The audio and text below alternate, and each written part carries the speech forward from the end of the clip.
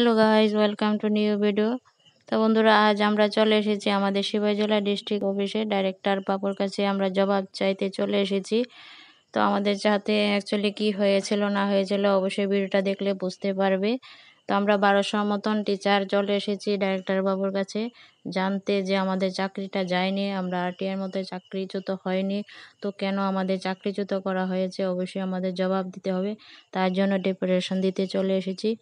তো বন্ধুরা ভিডিওটা দেখলে অবশ্যই বুঝতে পারবে আমাদের সাথে কি হয়েছিল শিকার হয়েছি। বন্ধুরা ভিডিওটা দেখতে থাকো, দেখলে বুঝতে পারবে দশ হাজার তিনশো তেইশ টিচারের সাথে অ্যাকচুয়ালি কি হয়েছিল। তৎকালীন সময়ে আমাদের সবাইকে টার্মিনেট করে আমাদেরকে রাস্তায় বসিয়েছে কিন্তু একটা অঘোষিত মৌখিক সিদ্ধান্তের মাধ্যমে আমাদেরকে বাড়ি পাঠিয়ে দিয়েছে এখন পর্যন্ত কোনো প্রকার টার্মিনেশন ইন্ডিভিজুয়াল ব্যক্তিগতভাবে টার্মিনেশন শিক্ষা দপ্তর দিতে পারেনি। আমরা আজকে জবাব চাইতে এসেছি। কথা ছিল এগারোটায় আমরা সেখানে ডেপুটেশন দেব আমাদের জেলা শিক্ষা অধিকর্তা হাবুলকুল্লাহ কুমার রোজ মহোদয় এখন পর্যন্ত আমাদের সাথে দেখা করার জন্য অফিসে আসেননি। পূর্ব ঘোষিত অনুযায়ী ওনার সাথে আমাদের ইনফরমেশন দেওয়া হয়েছে হোয়াটসঅ্যাপ মেসেজ করা হয়েছে। কিন্তু আজকে এখন পর্যন্ত উনি আসেননি। আমরা অফিসে ঢুকেছি। ওনারা বলছেন যে ওনাদের কাছে কোনো প্রকার ইনফরমেশন নেই। অতএব বোঝা যাচ্ছে উনি আমাদের অবৈধভাবে যে উনি একটা টার্মিনেশন করেছেন, এই টার্মিনেশনের ভয়ে এখন পর্যন্ত আমাদের সঙ্গে দেখা করার জন্য কোনো প্রকার ভূমিকা নিচ্ছেন না। আমরা পর পর আবেদন করেছি। আমাদের দিচ্ছেন না। এর থেকে পরিষ্কার শিক্ষা দপ্তর আমাদের সঙ্গে একটা গভীর ষড়যন্ত্র করেছে। এই ষড়যন্ত্রের ফলে আজকে আমরা একশো চল্লিশ জন শিক্ষিকা হারিয়েছি। এই দেখুন, আমাদের শিক্ষক গতকাল, পরশু নন্দ দুলাল নম জিটি শিক্ষক অকালে প্রাণ হারিয়েছেন। ওনার একমাত্র ছেলে আজকে ওনার কি ভবিষ্যৎ হবে?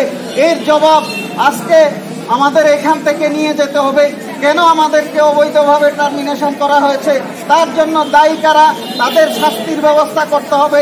আমি রাজ্য সরকারের কাছে আবেদন করতে চাই। যারা আমাদের এই চক্রান্তের সঙ্গে সামিল ছিল, তাদেরকে অবিলম্বে সাজার ব্যবস্থা করুন এবং আমাদের যে অধিকার, আমাদেরকে বিদ্যালয়ে দেওয়ার সুযোগ করে দেওয়ার জন্য প্রয়োজনে অবিলম্বে আপনারা যে সিদ্ধান্ত নিয়েছেন যে দশ হাজার তিনশো তেইশের তদন্ত কমিশন, সেই কমিশন অবিলম্বে যাতে প্রকাশ করা হয়, আমি রাজ্য সরকারের কাছে আবেদন রাখছি। আমাদের শিক্ষক শিক্ষিকার পক্ষ থেকে অবিলম্বে এই রিপোর্ট প্রকাশ করার জন্য দাবি জানাচ্ছি, আমাদের মৃত্যু মিছিল এখন পর্যন্ত একশো চল্লিশ জন পেরিয়ে গেছে। আর একজন শিক্ষক যাতে আমাদের এই মৃত্যু মিছিলের দায়ে মৃত্যু পথে পরিচালিত না হয়, তার জন্য অবিলম্বে আমাদের শিক্ষা দপ্তর এবং ত্রিপুরা রাজ্য সরকার আমাদের তদন্ত কমিশন প্রকাশ করুক। আমরা জানি আমাদের সবার চাকরি যায়নি। শিক্ষা দপ্তর যেখানে চারশো বাষট্টি জন শিক্ষকের হলফনামা দিয়ে সুপ্রিম কোর্টে বলেছে, শুধু তাদেরই চাকরি দেওয়ার কথা। সমস্ত নথিপত্র আছে। আমরা আরটিআই এর মাধ্যমে সে সমস্ত নথিপত্র বের করে এনেছি, অতএব এই নথিপত্র আমরা বিদ্যালয় শিক্ষা দপ্তর, ত্রিপুরা রাজ্য এডুকেশন সেক্রেটারির নিকট আমরা সাবমিট করেছি। কিন্তু একটা অদৃশ্য শক্তির ফলে সেখানে শিক্ষা দপ্তর আমাদের এই উত্তর দেওয়ার ক্ষেত্রে পিছিয়ে আছে, বারবার সেখান থেকে আমাদেরকে কোনো প্রকার উত্তর দিচ্ছে না। এতে পরিষ্কার আমাদের চাকরি যায়নি যতক্ষণ পর্যন্ত আমাদের চাকরি পুনরায় আমরা বিদ্যালয়ে না যেতে পারি, ততক্ষণ পর্যন্ত আমাদের লড়াই চলবে। সারা রাজ্যে দশ হাজার তিনশো জন শিক্ষক, শিক্ষিকা যতক্ষণ পর্যন্ত বিদ্যালয়ে না আমরা বসতে পারি, ততক্ষণ পর্যন্ত আমাদের লড়াই, আন্দোলন, অধিকার জারি থাকবে। এর জন্য আমরা আজকে সিপাহী জেলা ডিস্ট্রিক্ট অফিসে এসেছি।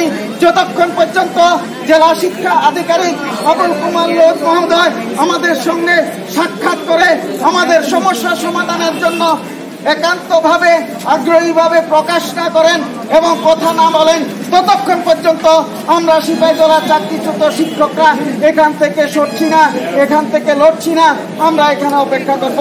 আপাতত এই মেসেজ আমরা আপনাদের মাধ্যমে আমাদের জেলা শিক্ষা আধিকারিকের নিকট পাঠিয়ে দিচ্ছি। উনি যেখানেই থাকুক, আজকে যাতে অতি সত্তর আমাদের সঙ্গে কথা বলে আমাদের যে আইনি সমস্যা, সেই সমস্যার ফেস টু ফেস কথা বলো এই বার্তা প্রথম দফায় আমরা রাখছি। আমাদের অবস্থান যতক্ষণ আমাদের শিক্ষা আধিকারিক না আসবে, ততক্ষণ আমরা এখানে থাকব, সবাই আমরা এখানে অবস্থান করব।